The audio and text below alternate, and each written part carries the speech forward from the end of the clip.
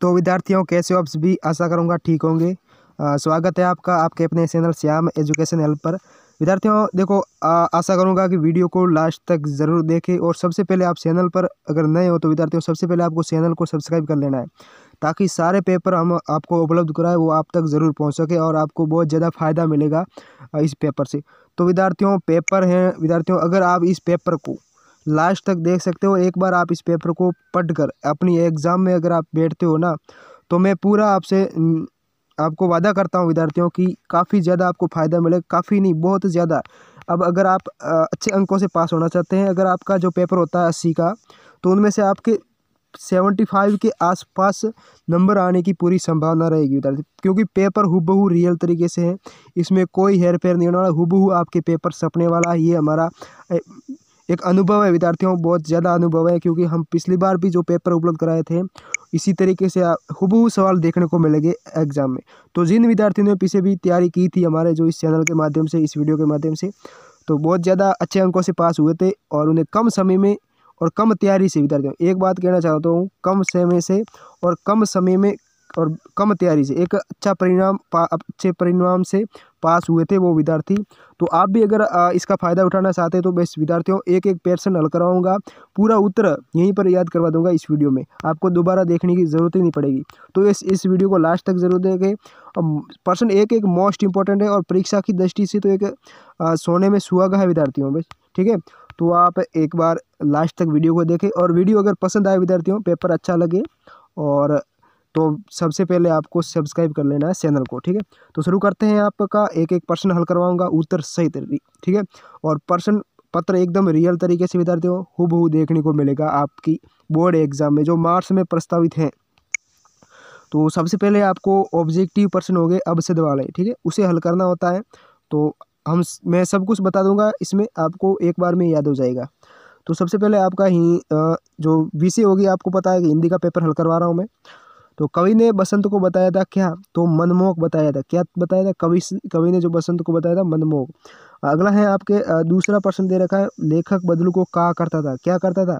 तो ये का का शब्द है ना, ये बदलू है ना लेखक लेखक वो बदलू को का का कहकर पुकारता था।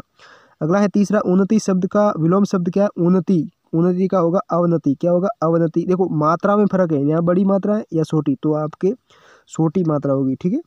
कौन सा सूर्य का पर्यावासी है? तो सूर्य का पर्यावासी कौन सा पयोद नहीं है, पनंग नहीं है, मौलिक नहीं, अर्क है। वो सूर्य का पर्यावासी है, अर्क है, वो सूर्य का पर्यावासी है। अगला है, बदलू लाख पिघलाने का काम करता था। कहाँ पर? मोमबत्ती से नहीं, चूल्हे की आग से भी नहीं, दिए से भी नहीं। दहकती भट्टी से। क्या है? दहकती भट्टी से क्या करता था? बदलू लाख पिघलाने का काम करता था। अगला है कि लेखक ने बस को कैसा बताया? तो पूजा योग्य बताया, क्या? पूजा पूजा करने के योग्य लेखक ने बस को बताया। दीवाने संसार से संबंध रखते हैं, किसका? तो समान भाव का, किसका? समान भाव का। देखो विद्यार्थियों, आशा करूँगा वीडियो को लास्ट तक देखे। मैं बार बार कहना चाहता हूँ, क्योंकि फ़ायदा इसमें आपको ही है विद्यार्थियों। अगर आप अच्छे अंकों से पास होना चाहते हैं, अगर बोर्ड परीक्षा में टॉपर बनना चाहते हैं तो देखो प्रश्न हम बड़ी मेहनत से तैयार करते हैं ये पेपर आपके लिए। तो आप बस एक बार आप इसी वीडियो को लास्ट तक ध्यानपूर्वक एक ही बार में आपको याद हो जाएगा, ठीक है? बार बार इसे देखने की ज़रूरत नहीं है। अगर एक बार में प्रश्न याद ना हो तो दोबारा भी देख सकते हैं और चैनल पर जुड़े रहना है आपको लगातार परीक्षा तक, ठीक है? तो गांधी जी से प्राप्त पत्रों को लोग कहते थे क्या? प्रशस्ति पत्र। क्या कहते थे? प्रशस्ति पत्र सम्मानित पत्र। अगला है कि ध्वनि वर्णों के मेल को क्या कहते हैं? सभी को पता होगा, विद्यार्थियों। जो हमारी ग्रामर होती है, उसमें संधि को क्या है, संधि क्या कहलाती है, जो वर्णों के मेल को संधि कहते हैं। संधि कितने प्रकार की होती है? संधि तीन प्रकार की होती है, स्वर संधि, व्यंजन संधि और विसर्ग संधि। समझ गए? तो ये आपका हो गया। अगला है आपके ग्यारहवा, जो पंद्रह, लगभग मुझे लगता है शायद दस से पंद्रह आपके अवसद वाले प्रश्न आ सकते हैं। और अगर दस प्रश्न आ गए तो हमने इसमें पंद्रह रखे तो पंद्रह में से आपके पूरे पूरे दस सपेंगे। भगवान के डाकी कविता में डाकी बताया है किसको? पक्षी और बादलों को। पक्षी और बादलों को भगवान के डाकी आपने अगर पढ़ा है पाठ तो उसमें पक्षी और बादलों को क्या बताया आपके आ, ये बताया आपके पक्षी और बादलों को भगवान के डाकी। नेक्स्ट होगा आपके प्रश्न में दे रखा है कि आ, नीचे दे रखा है कि आ, फलना और फूलना का अर्थ क्या है? फलना फूलना। तो क्या होता है? उन्नति करना। फलना का फलना मतलब होता उन्नति करना, यानी विकास करना। अगला है, कबीर के अनुसार साधु से पूछना सही है क्या? क्या पूछना चाहिए तो ज्ञान की बातें पूछनी चाहिए फालतू की बातें नहीं, ज्ञान की बातें। न उसका पता पूछना चाहिए न जाति, न उसकी आयु। सिर्फ़ ज्ञान की बातें पूछो। अगर आप शिक्षक से आप पढ़ते हो तो वहाँ उसका थोड़ा ही पता पूछते हो, जाति पूछते हो। सीधा ज्ञान की बातें आप पूछते हो, आप कोई प्रश्न पूछते हो। सागर का पर्यावासी शब्द है। सागर का पर्यावासी शब्द क्या है? तो बताना है सागर होता है उसका पर्यावासी है जलदी। क्या है? जल्दी। सागर का अर्थ है जल भराव वाला स्थान तो इसका मतलब जल्दी। ठीक है? तो जो ये अब से ऑब्जेक्टिव थे और एक परसेंट रहा ऑब्जेक्टिव का, उपकार और अपकार का अर्थ है। ये अपकार है, विद्यार्थियों। ठीक है? ध्यान रखना। उपकार, अपकार का अर्थ है भलाई, बुराई।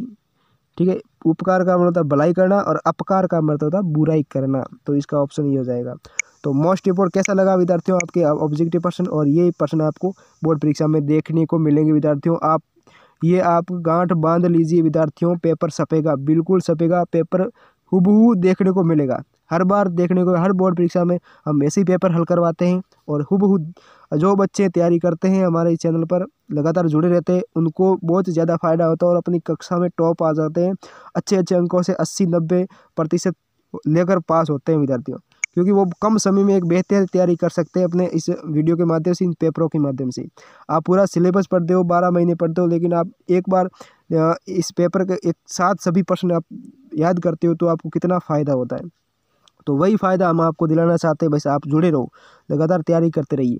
नीचे दी गई पंक्तियों की पूर्ति सही शब्द सुनकर दीजिए। देखो, खाली स्थान भरना है। तो सबसे पहला खाली स्थान क्या होगा? कि दिल छोटा करना मुहावरे का अर्थ है। तो भाई दिल छोटा करने का मतलब होता क्या? धैर्य खोना, क्या? धैर्य खोना मतलब एक धैर्य आत्मविश्वास खो जाना, उसे दिल छोटा कहते हैं। और लाख की चूड़ियाँ पहने तो उनकी, उनके क्या? उनके जो होते हैं ना, उनके मोच ना आ जाए, क्या? मोच। जो ये दे रखा है ना शब्द, मोच।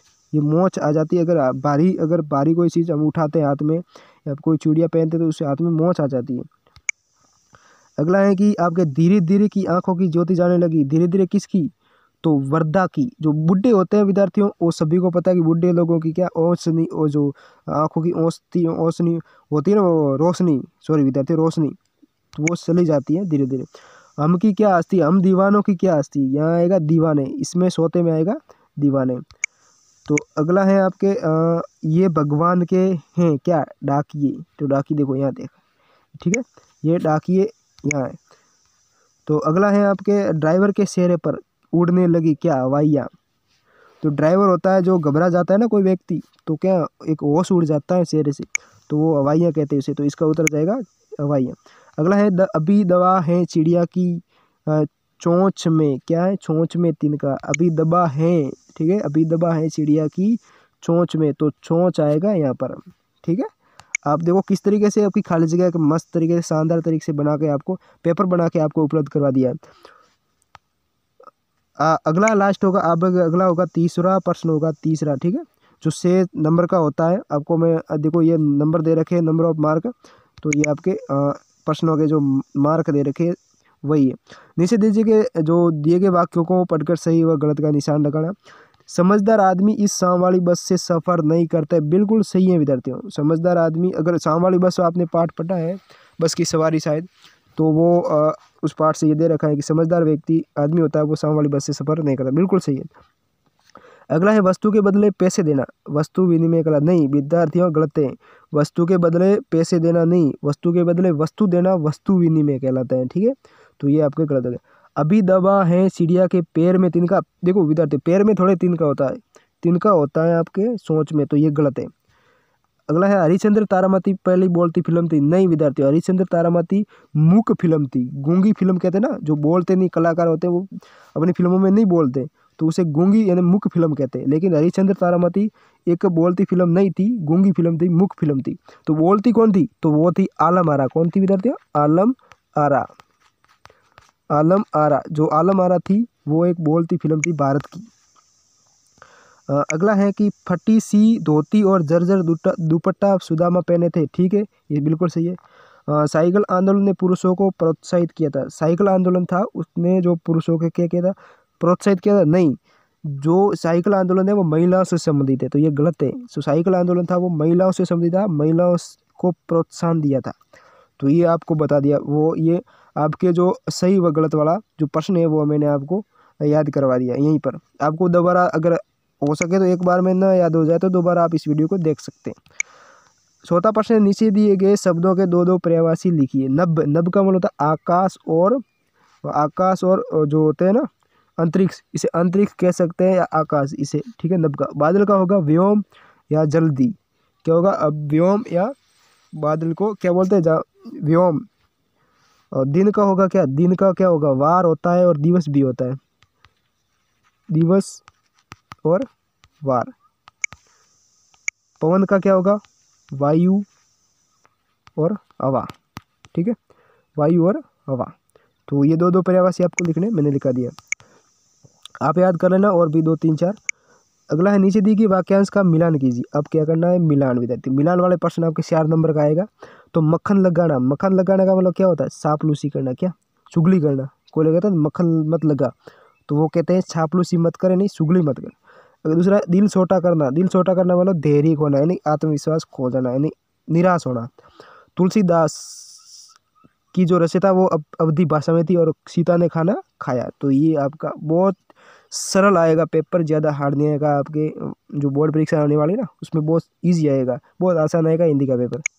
सारे पेपर उपलब्ध करवा दिए हैं, हमने और भी उपलब्ध करवाएँगे आपको इस चैनल पर। तो चैनल को सब्सक्राइब कर लेना विद्यार्थी अगला है, नीचे दी गई वाक्यों में समानार्थी शब्द लिखना है। समानार्थी यानी एक शब्द, जैसे जिस पर कोई किसी का निरंक जिसका अंकुश ना हो। जिस पर किसी का अंकुश ना हो, उसे क्या बोलते हैं? निरंकुश। निरंकुश। तो ये हो गया आपके। निरंकुश। जिस पर किसी का अंकुश न हो, उसे निरंकुश बोलते हैं, ठीक है? अगला है, जिसके टुकड़े न हो सके तो उसे क्या बोलते हैं? जिसका टुकड़ा नहीं होता, वो अटूट कहलाएगा ना? तो क्या होगा? अटूट। जिसके टुकड़े न हो, उसे अटूट कहते हैं। अगला है, जिसका कोई आकार न हो। तो आकार न हो तो उसे क्या बोलते हैं विद्यार्थियों? जिसका कोई आकार न हो, उसे क्या बोलते हैं? वो आपको कमेंट बॉक्स में बताना ये हम, मैं आपके लिए छोड़ देता हूँ, ठीक है? जिसकी गिनती न हो, जिसकी गिनती न हो तो उसे क्या बोलते हैं? तो अनगिनत। क्या बोलते हैं? अनगिनत। देखो, अनगिनत। गिनत, अनगिनत। जिसकी गिनती ना हो उसे अनगिनत बोलते हैं क्या? जिसे गिना ही ना जा सके तो उसे अनगिनत कहते हो। ये आपको बताना है कमेंट बॉक्स में कि जिसका कोई आकार न हो। अब देखो विद्यार्थियों, अब बड़े बड़े प्रश्न आने वाले हैं। आपको बीस से तीस शब्दों में लिखने, मैं उत्तर नहीं बताऊँगा। मैं आपको सिर्फ़ प्रश्न बताऊँगा। तो आपको क्या करना है, उसे नोट में कर देना अपनी रफ कॉपी में और फिर याद करना। क्योंकि यहाँ बताने जाऊँगा तो वीडियो बहुत ज़्यादा लंबा जाएगा। दो से तीन घंटे का तो इसमें मैं इतना बोल नहीं पाऊँगा। तो मैं आपको सिर्फ़ पर्सन पर्सन बता रहा हूँ कि किस कौन कौन से आने वाले ये पर्सन आपका सातवां देख सकते हैं और ये आठवां, ठीक है? तो ये दो पर्सन देखो इस तरीके से आने, ये आएगा। तो आप इसे ज़रूर याद करें, एक ये आएगा आपके कि नीचे दिए गए मुहावरा का वाक्य में प्रयोग कीजिए। तो क्या करना है आपको? आँखें फेरना, आँखें की फेरने का मतलब होता है बात से बदल जाना, ठीक है? जो हम वसन देते हैं ना, वसन से बदल जाना। कमर कसना का मतलब होता है तैयार होना। कमर कसना होता है, उसका मतलब होता है तैयार, आँखें फेरना का मतलब होता है कि बदल जाना, ठीक है? मतलब वसन से बदल जाना। अगला है कि आपके नीर शब्द उप, नीर उपसर्ग लगाकर, उपसर्ग मतलब आगे। दो शब्द, नीर का मतलब निरंकोश और निर्भय, ठीक है? निर्दोष को या निरंकुश को तो आपको लगाना निर्दोष या निरंकुश, ठीक है? ये तीन दो हो गए इसके। अगला, ग्यारह, दो पहिया वाहन चलाते समय सावधानी क्या रखनी चाहिए? एक तो हेलमेट पहनना चाहिए, ठीक है? एक शराब पीकर वाहन नहीं चलाना चाहिए। अगला है कि कोरोना वायरस के दो बचाव के उपाय साइकिल चलाना शुरू करने पर महिलाओं के प्रति पुरुष का व्यवहार कैसा था? ठीक है तो गवाह रहे कि टॉपिक पर दर्जी ने पाँच फुदने क्यों जड़े थे ये? तो ये अब दूसरा है आपके पंद्रह से सोलह क्या है कि इस गद, इस गद्यांश को पढ़ना है? और फिर उत्तर देने ठीक है बदलू का स्वभाव ये गद्यांश पढ़ लेना विद्यार्थियों ठीक है? क्या करना है इस गद्यांश को? पहले पढ़ना है फिर उत्तर देना है। तो आपने जो पहले वार्स इसको अब दूसरा है आपके निषेध इसी गद्यांश पक्ति का भावार्थ कीजिए। तो इसका भावार्थ है ना, विद्यार्थियों, लिखना है। अपना जैसे ऐसे बेहाल विवांशो पंग, कटक, जाल, लगे, पुनी, सो तो इसका अपना अपनी भाषा में, हिंदी भाषा में अब ये देखा है ना, ये किस भाषा में लिखा हुआ है। तो इसका क्या है भावार्थ लिखना है अपने शब्दों में। अगला है आपके, आज किसी एक पर शीर्ष को कहानी लिखी तो भूखी लोमड़ी या सोने के अंडे देने वाली मुर्गी पर दोनों में से किसी एक पर कहानी लिखनी है। कहानी आप अपनी पासबुक से याद कर सकते हैं। अब अगला है कि आपके रोगी चिकित्सक के संवाद को लिखिए। आप आप स्थानांतरण प्रमाण पत्र टी सी हेतु एक प्रमाण पत्र लिखना है अपने अध्यापक जी को। टी सी हेतु क्या लिखना है आपको? एक ट्रांसफ़र सर्टिफिकेट हेतु एक प्रार्थना पत्र लिखना है। तो आप किताब या पासबुक से पासबुक से याद कर सकते हैं। अगला है किसी एक पर निबंध लिखना है तो तीन ऑप्शन दे रखा है। ऑप्शन इक्कीसवीं सदी का कोरोना वायरस और पर्यावरण प्रदूषण, प्रिय खेल और भारत, स्वच्छ भारत मिशन अभियान। तो इन किसी चार में से किसी एक पर आपको निबंध लिखना है। ठीक है विद्यार्थियों? तो ये हो गया आपका हिंदी का पेपर। मोस्ट इंपॉर्टेंट पेपर रहता है विद्यार्थी पेपर है विद्यार्थियों। तो इसे एक इग्नोर ना करें। लास्ट तक आशा करूँगा देखा होगा आपने। तो इसे ज़रूर याद करें। हुबू देख पेपर आपको देखने को मिलेगा अपनी परीक्षा में बोर्ड परीक्षा में। तो विद्यार्थियों, फिर मिलेंगे अपने एक नए पेपर के साथ, दूसरे पेपर कोई भी सब्जेक्ट के साथ अगर आप, अगर चाहते हो कि मुझे वो वही सब्जेक्ट पेपर हल करो सर तो मैं आपको वो कमेंट बॉक्स में आप ज़रूर बताएँ मुझे। मैं वही पेपर आपको हल करवा दूँगा। लेकर आऊँगा आपके लिए हूबहू पेपर उस एकदम असली पेपर एकदम रियल पेपर विद्यार्थियों। और जैसा कि आपको परीक्षा बोर्ड परीक्षा में वो पर्सन देखने को मिले, ऐसा पेपर लेके आऊँगा। तो आप कमेंट बॉक्स में ज़रूर बताएँ, किस विषय का पेपर मैं आपको बताऊँ। ठीक है? तो फिर मिलेंगे अपने अगले वीडियो में। तब तक बने रहे हमारे चैनल पर। फिर मिलेंगे। धन्यवाद। जय हिंद। जय भारत।